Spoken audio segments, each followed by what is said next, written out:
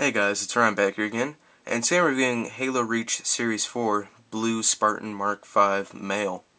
So anyways, this figure has just been recently released, along with rest of the rest of Series 4. The stores you can currently find it at are Toys R Us. It has not shown up yet at Walmart, Target, or GameStop or anything, but it will be in the next few weeks or so. Uh, so anyways, the retail price on him is $10.99. So let's go over the packaging first. As you can see, it's in the same packaging design they've been using for all the Reach figures so far. It's got the Battle of Reach background, a rendered picture of the blue Spartan Mark V, uh, 28 moving parts, Halo Reach logo.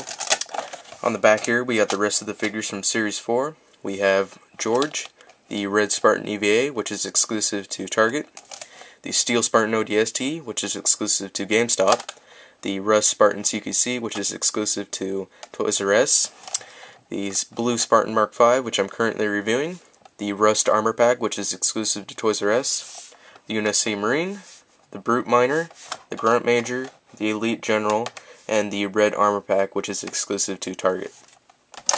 So anyways, let's go over the figure here. Um, the accessories that he comes with, he comes with a assault rifle. Nothing really new about this one because it's the same one they've been using so far. He comes with one peg for the assault rifle. As you can see on the assault, the assault rifle itself, it's got a peg hole right there for it.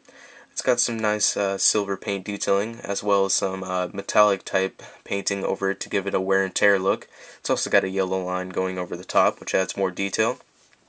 And the last accessory that he includes is a grenade, which you can display on these two pegs back here on his hips.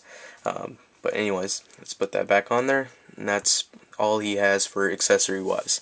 So the new parts about this figure. The only thing that's really new is the head sculpt. The shoulder pads and the chest plate, as well as the body, is a complete repaint. Um, you know, well, that's pretty much all the Spartans are. They're a repaint of the same exact figure over and over again with slightly different armor.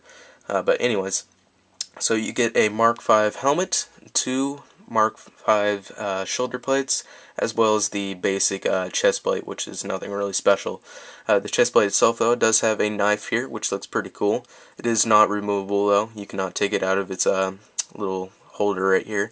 Uh, but anyways, the shoulder pads, chest plate, and helmet are all removable, so you can interchange it with different figures. The helmet sculpt is pretty awesome, so it's got a gold visor there, and it's also got some white and red detailing on the sides, as well as the back a little bit, but you know, that's pretty much it to this helmet. There's nothing really too special about it, but it is a entirely new sculpt, which looks pretty cool. Um, so I would recommend you pick up this figure though, because it's the only figure in Series 4 that has this helmet. Um, so if you really want this one, pick up this figure.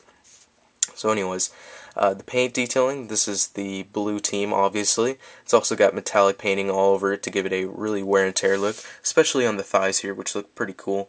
Uh, it's got blue detailing, it's got the caution logos down here on his toes. Uh, there's a UNSC logo right on the back here, as well as those red triangle thingies. Um, what else? White detailing. I believe there is a UNSC logo, yep, right on his chest plate. And yeah, there is peg holes also throughout the body. There's two peg holes on his thighs for weapon display. Uh, there's peg holes on his forearms, which are for extra armor. There's a peg hole on his cod piece, which is for extra armor as well. And there's also a peg hole on the back of his uh, torso here for weapon display. And of course, like I mentioned earlier, there's these two pegs for grenade. Grenade display. And yeah, so that's pretty much it for this figure.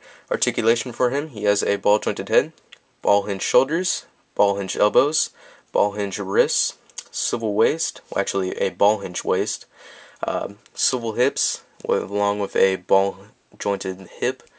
Um, so it's like swivel, and then you can also move it back and forth if you want to. Uh, ball hinged knees, ball hinged ankles, as well as ball jointed toes. So, anyways, that's pretty much it for this figure. You know, it's the same basic Spartan that we've seen so far, except with some different armor as well as uh, different paint job. So anyways, I'm going to go ahead and give this figure, I'd say, uh, 5 out of 5. I really like the Mark V helmet. They did a nice job sculpting on it. It has some nice details and nice paint apps. You also get these two uh, Mark V shoulder pads, which look pretty cool. And then you get an assault rifle and a grenade, of course. And the, overall, the paint job on this entire figure is just awesome. I really love how they're doing the really nice wear and tear look to all the Spartan figures in this line. Uh, so anyways, I would recommend you pick up this figure because once again, it's the only one in Series 4 that has a Mark V helmet. Uh, so anyways, that's pretty much it for this review. Hope you guys enjoyed it, and I'll see you guys in the next video.